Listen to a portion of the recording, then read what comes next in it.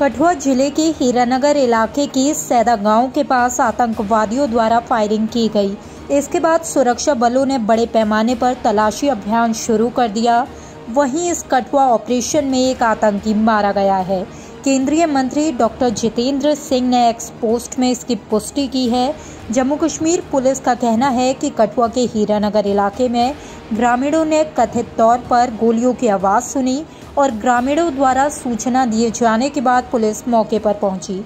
कठुआ के हीरानगर इलाके में आतंकवादियों और सुरक्षा बलों के बीच फायरिंग हुई है। जानकारी के अनुसार इस फायरिंग में तीन लोग घायल हुए हैं, जिन्हें अस्पताल में भर्ती कराया गया है।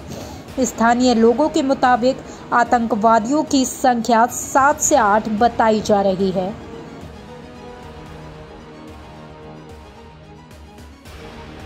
हमारा इलाका है, जो बहुत सहमा हुआ है, क्योंकि जहाँ हमारे इलाके में जो है मिल टेंट आए हुए हैं, जो हमें पता चल रहा है कि पाँच या छः मिल टेंट हैं, दो उनमें से किसी की बाइक, सुनने में आ रहा है कि दो लोग मिल टेंट हैं, जो वो बाइक लेकर किसी की फरार हो चुके हैं, और जो पाँच पाँच हैं चार पाँच है, वो उधर ही हैं, कि कोई बोल रहा है कि किसी के घर में है।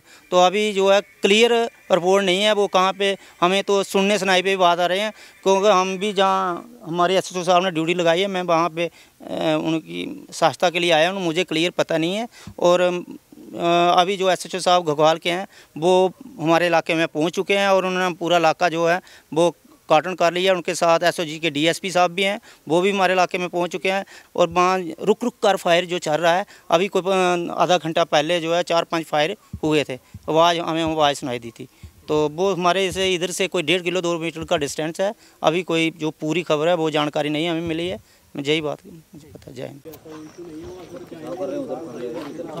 उधर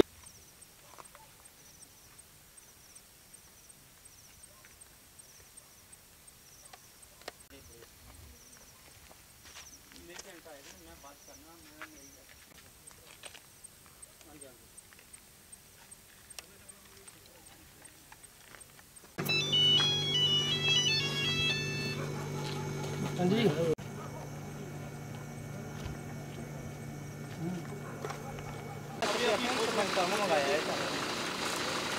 मैं करते हैं। हाँ हाँ आगे